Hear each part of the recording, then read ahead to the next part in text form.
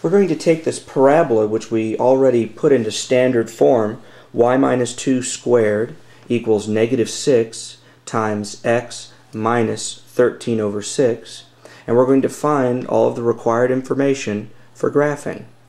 First, the vertex. Remember, y minus k and x minus h. There's our x value.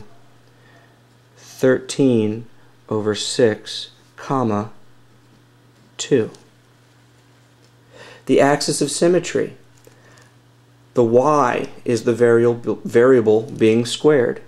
So the axis of symmetry is y equals, well, look at the vertex. In the vertex, y is 2. So the axis of symmetry, y equals 2.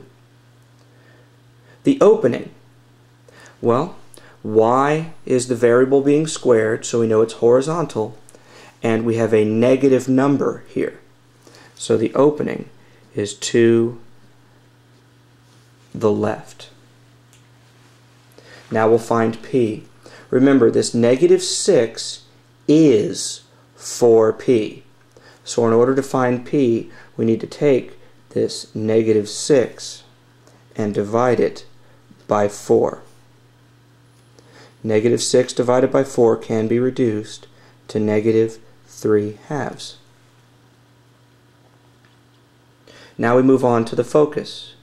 According to the axis of symmetry, y equals 2. And we're going to keep that. y of the focus will be 2. We'll take the x-coordinate of the vertex and add p to find the x-coordinate here. 13 over 6 plus negative 3 halves is positive 2 thirds. And last is the directrix. Since we changed the x here, we're going to change the x here. y equals x equals.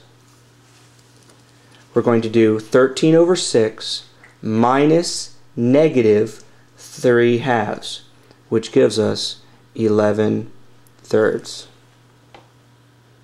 This is all the information that is needed in order to graph this parabola.